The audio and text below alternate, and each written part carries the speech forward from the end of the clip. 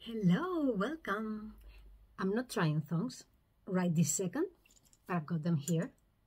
That's coming up next. I'm actually here because I send newsletter, let's call it like that.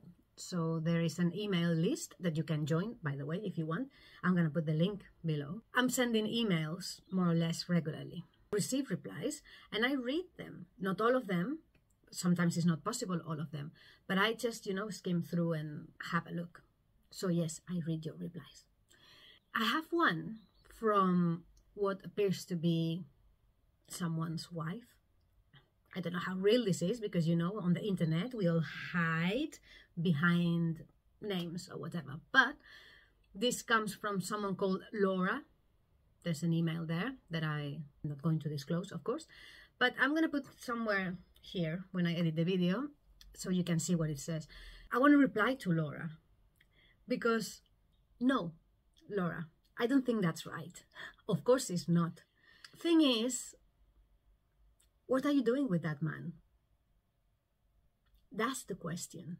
You need to ask yourself those questions. I am doing my job, and my job is entertain men Actually, I might just have come up with my life career. I entertain men. Many of these men are single, divorced, widows, you know, and many of them maybe are in relationships as well. But it's not up to me to look into those relationships and fix them. Why that happens is something you, as a wife, or them as a man who is in a relationship, in a committed relationship, and looking other girls online or women online, need to ask themselves, do you get my point? I'm not trying to be nasty here. In fact, today is Valentine's Day. And uh, if you know me, you know I'm kind of a Scrooge with these things. Absolutely and everything else that is someone else from who knows where with interest telling me to do so or eat that or buy flowers or chocolates or this, give it you this day, special day, super day, mom's day, dad's day, this is pancakes day, this is everything day, whatever the tree of life uh, day. I don't buy that. But when I go to the shop and I see all those displays of cards, roses, hearts everywhere, everything is heart shaped now in February for Valentine's Day. And I see a lot of men with carrying flowers. They're dressed in their work clothes, all dirty. Others with the suit, with the office dressed. All these men are buying flowers for someone else, which is great. But why don't you do that any other day? Why do you do that on the 14th of February? I mean, maybe I'm too rebel for this, but only because it's something expected from you to do, I, I wouldn't do it. you know, I would rather do it on the 20th of February, 1st of February, 15th of March. Why not? But that's me. And we're not talking about me here.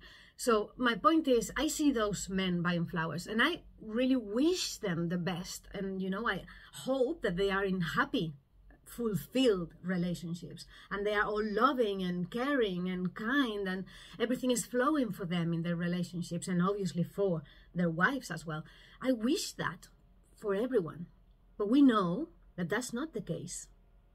And we know that many of these men buying flowers are just, doing that because they have to you know oh what if they don't and they get home on the 14th of February with without those flowers? What's going to happen?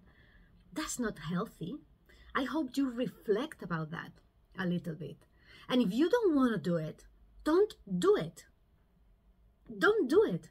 And explain why. Communicate and explain why. Not just, you know, turn up home without those flowers or those chocolates because you think that that is nonsense and, you know, and don't want to do that anymore.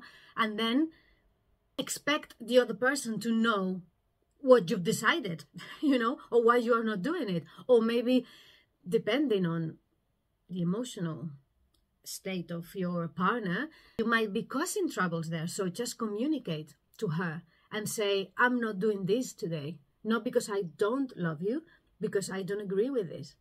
it doesn't make me feel good. So, you know, I'll make it up. We'll do something special next week, for example, whenever, and then surprise her another day. I just thought that'd be helpful. So, Laura, I'm so sorry that you're going through this. I'm so sorry that you're having to email this random woman who is just creating content online for others to enjoy, which is not a crime. It's a job and it's affecting you. But bear in mind that what happens in your life is your responsibility and not mine. There's something called choice. And the power of choice is massively important, and we don't realize that. So if your husband is choosing consume content that is, you know, not of your liking, he chooses to spend money in something that, you know, is really, I mean, I agree, not right to do with someone else's money anyway, then you just need to bring that up to your relationship and talk about it. I'm not going to give you a solution because it's not none of my business what happens in your relationship. You will have a, an amazing, what is today? Wednesday.